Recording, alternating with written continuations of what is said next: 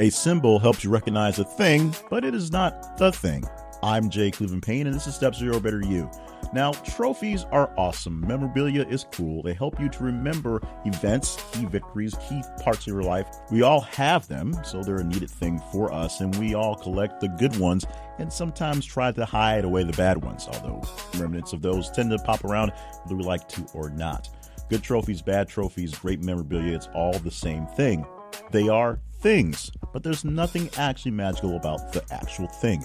The memories that they bring up are great. In fact, sometimes it's not the memories of the thing that it represents, but memories of something similar. Someone else's trophy can make you think of something that you did similar to that end, whether good, bad, or indifferent.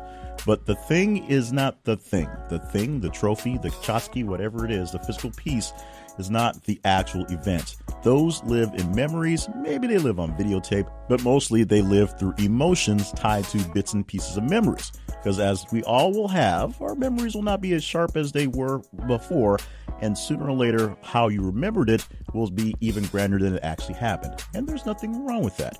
But always remember, the trophy you took away from the event is not the event.